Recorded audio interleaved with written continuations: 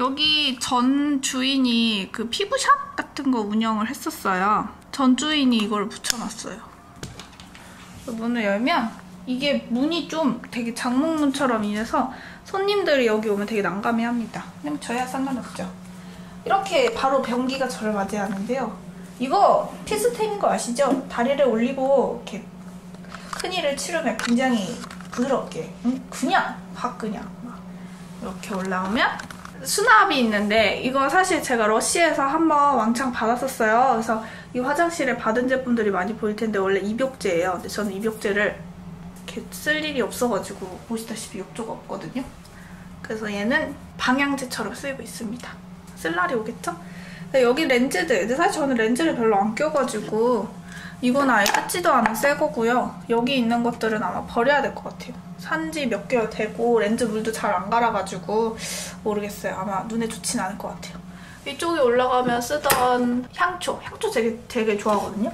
그냥 화곡역에 양키 캔들이 있어가지고 스타벅스 가는 김에 여기서 많이 사고 여기 열면 이렇게 제가 저번에 보여드렸던 위생용품을 사이즈 맞춰서 넣어놓고 그다음에 이거는 가장 큰 사이즈 면도기 일부러 사놨는데 이거 왜 여기 있냐? 이거 지금 아직 한 번도 안 썼어요. 수건은 이쪽에 그렇게 많진 않아요 수건이. 그다음에 세면대 저는 그 칙칙이 뿌려가지고 스카트 찢어갖고 빨아 쓰는 행주 그걸로 닦으고 그냥 버리거든요. 뭐 청소 그렇게 자주 안 하는데 이거는 이제 핸드워시 손님들 오면 손 씻으라고. 여기 전기 플러그 있긴 한데 저는 개인적으로 좀 위험한 위치에 있다고 생각합니다. 안 써요. 어, 이거는 컵 꼽는 것 같은데 제가 한 게 아니라서 안 써요.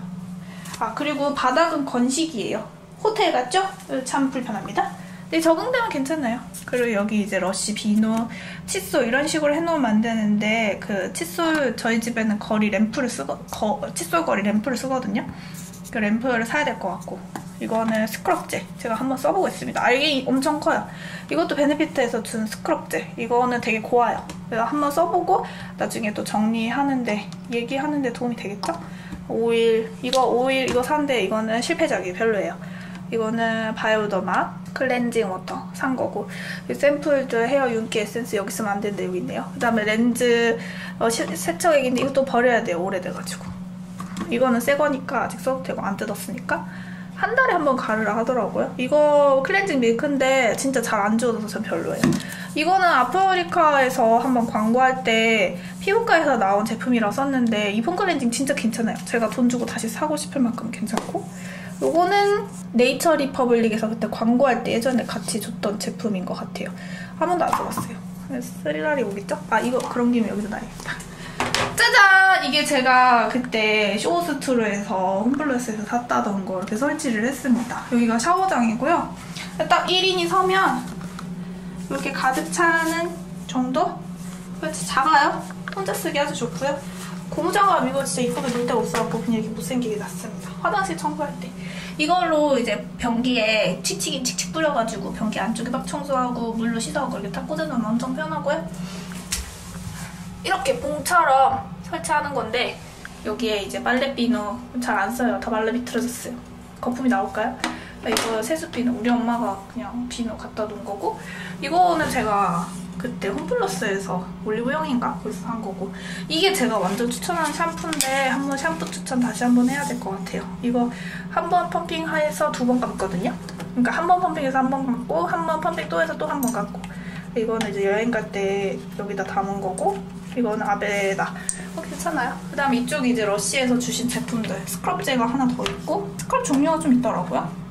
그리고 샴푸. 이것도 써봤는데 향 특이하더라고요. 샤워젤이 향이 좀 좋더라고요. 되게 기분 좋은 향. 그 다음에 이거는 헤어 컨디셔너. 헤어팩. 이것도 이제 해봐야지. 그리고 그 피부과에서 줬다던 광고했던 치즈폼 이게 진짜 쫀쫀하게 잘 닦여서 향도 진짜 좋고 진짜 제가 다시 이거는 살 것 같은 그런 폼이에요. 이거는 제가 클라낭스? 이거 그때 내가 산 건가? 아무튼 이 라인도 여드름 라인인데 그냥 이 폼은 거품이 별로 안 나서 제가 뭐 그냥 그래요. 이게 거품이 잘 나서 진짜 좋고 위쪽에는 이런 식으로 딱 고정할 수 있게 여기로 이렇게 길이 조절 가능하고 웬만큼 높은 곳 아니곤 다 가능합니다. 여기 샤워기가 이렇게 있고 수압이 진짜 겁나 세요. 보여줄까요? 이 정도인데 샤워기를 틀면 진짜 세죠. 머리 감는데 정말 시간 단축 대박.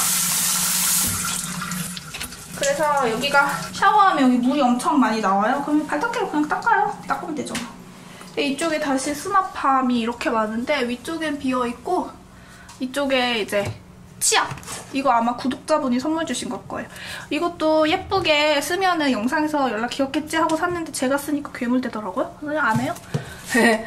이거는 솜이 여기저기 처박혀 있어요.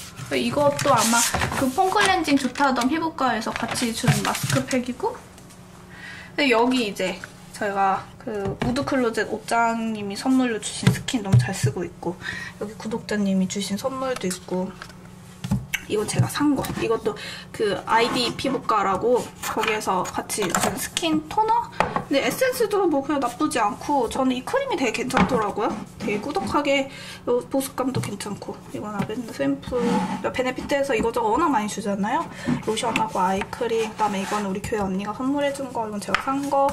그다음에 이거 되게 연유 같은 러쉬 수분 크림인데 뭐 이것도 촉촉하고 괜찮네요. 이 토너 그냥 무난해요.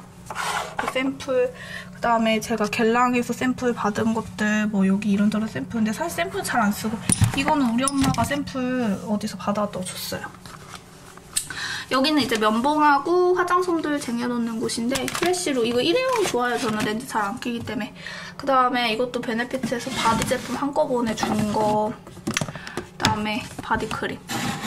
그리고 이거 아 리무버가 여기 있었구나. 여기서 나오네. 이제 잃어버린 줄 알았어 아 이거는 그때 시그마에서 Dear 유트로 막 이러면서 메일 와가지고. 근데 이거 제가 돈 주고 샀었거든요. 근데 이거는 아예 빨판이라서 이렇게 세면대에다가 붙여놓고 쓸 수 있는 거. 이거 진짜 대박 좋아요. 브러쉬 닦을 때 전 장갑형으로 하나 사와서 갖고 있는데. 이제 여기는 휴지. 창고에 휴지가 있긴 하지만 볼일보다 휴지가 좀 짜증나잖아요. 그래서 좀 잘 쟁여놓고 이게 제가 화장실 닦는 거?